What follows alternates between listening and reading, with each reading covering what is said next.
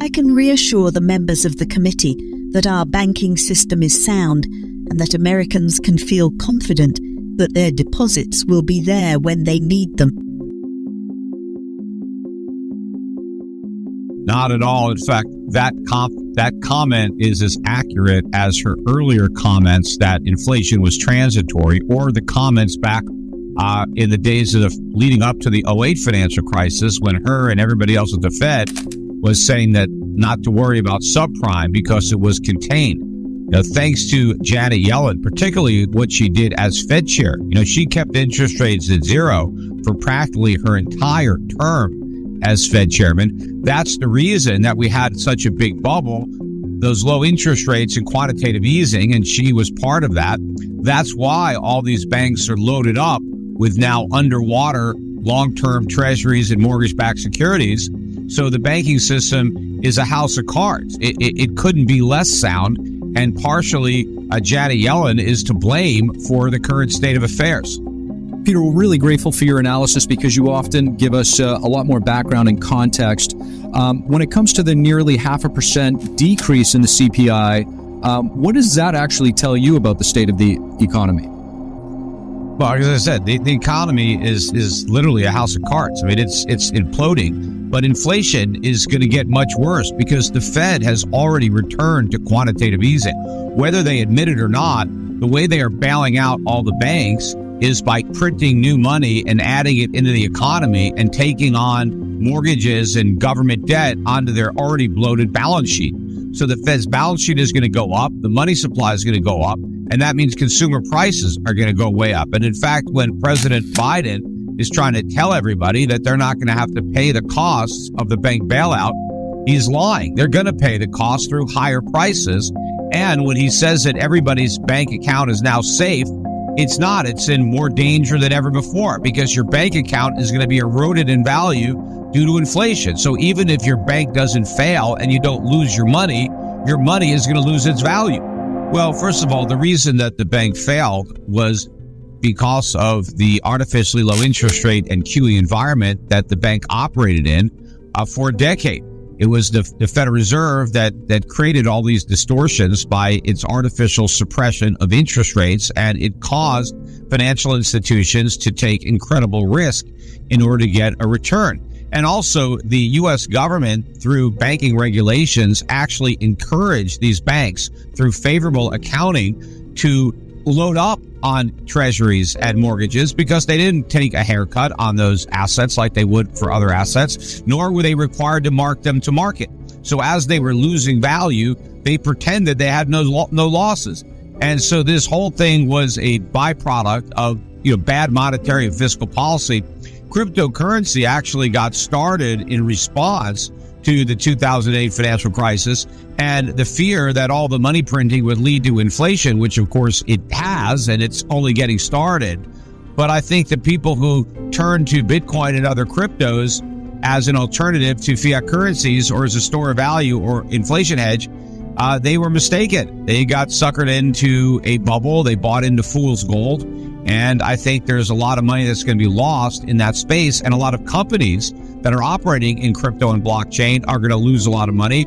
Unfortunately for Silicon Valley Bank, they were banking a lot of those companies. And so uh, that was also another problem that they encountered. And other banks that have made loans uh, to crypto related companies and other tech companies for that matter, uh, these loans are going to go bad uh, because these companies have no profits. In fact, they have huge losses. Wait, don't be a stranger hit the subscribe button and join our online family. Once again, the government has made another mistake in a long line of mistakes. It's because of the government uh, that uh, Silicon Valley Bank was in the position that it was. Uh, the reason it owned so many long term uh, low yielding U.S. treasuries and mortgage backed securities was because the Fed kept interest rates at zero for so long. And the reason it, that it chose those assets was because bank regulators kind of push banks into treasuries and mortgage backed securities because they give them favorable accounting treatment. They don't have to take any haircuts. They don't have to mark them to market. So the government created the problem, and now they're creating a bigger problem with the bailout because this is going to cost Americans a lot of money, not because their taxes are going to be raised, but because the Federal Reserve is financing this massive bailout by creating even more inflation. So Americans are going to pay for this at the supermarket, at the gas station. Their cost of living is going to go way up. If you thought inflation was bad last year, it's about to get a whole lot worse. Well, what you want to have is companies that do well in an inflationary time period with rising rates. We're going to be in that for the balance of this decade and maybe longer. So you want to have companies that have real earnings right now, not in the distant future, that pay good dividends, and importantly, that sell products and services that consumers need to buy. So they have pricing power so they can raise their prices along with their costs, maintain their margins and raise their dividends. But I think most important for Americans, I believe the dollar is ultimately going to tank. We're going to have a currency crisis, not just a financial crisis. And so you'll have a much better hedge against inflation if your income streams are coming from abroad because they're being paid to you in foreign currencies. Mm-hmm. And when you translate them back into weakening US dollars, that means even higher dividends and that will help offset the rising cost of living uh, that you're going to be experiencing here in the United States as a result of past, current, and future uh, risk uh, ex- excessive Fed uh, uh, money printing. Well, unfortunately, it's going to get red hot. You know what's happening right now in the banking system is a direct consequence of bad monetary and fiscal policy. The government and the Federal Reserve caused the 2008 financial crisis. They have caused this 2023 greater financial crisis. Thanks to the government, the entire U.S. banking system is a house of cards. The majority of U.S. banks are insolvent, and because they're all going to get bailed out, and the U.S. government, every bank account is going to be eviscerated by inflation. The Fed is going to print trillions of dollars to bail out the banks and the government,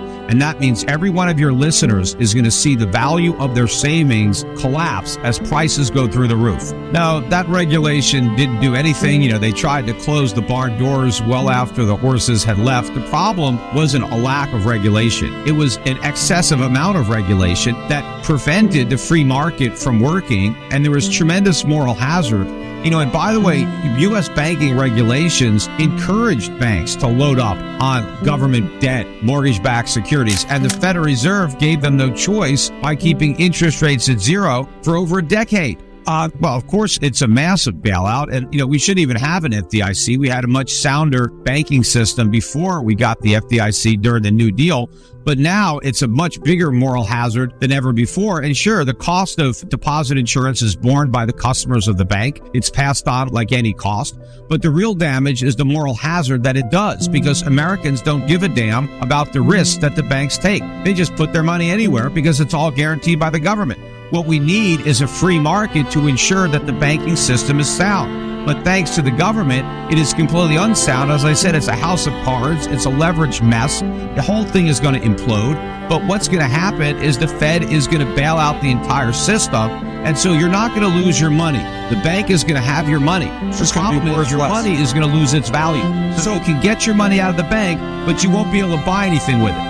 Well, if most people don't leave much money in the bank, I mean, take it out, buy yourself some gold, silver, do something. But you're going to lose dramatically if you have cash. If you have a deposit in a bank, it doesn't matter if the government insures it or not. They don't insure you against inflation. In fact, they have to create inflation to bail out everybody else. But at this point, you know, it's too late to do the right thing. I mean, they should have done the right thing 20 years ago, uh, 12 years ago. I don't see any precedent in the U.S. government doing the right thing. Every time they get a chance, they do the wrong thing, and that includes the Federal Reserve.